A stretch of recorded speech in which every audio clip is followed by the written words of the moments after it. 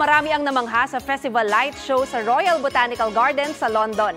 May mga ilaw na tila sumasayaw sa water and pyrotechnic display. Meron ding nag-ala Christmas tree light display. Mahigit isang milyong ilaw naman ang ginamit sa halos tatlong kilometrong trail. Perfect po yan sa mga gustong magpa-picture. Ito na ang ikasampung taon ng Festive Light Show. Mas matipid daw ito sa enerhiya dahil halong biodiesel fuel at LED lights ang ginamit.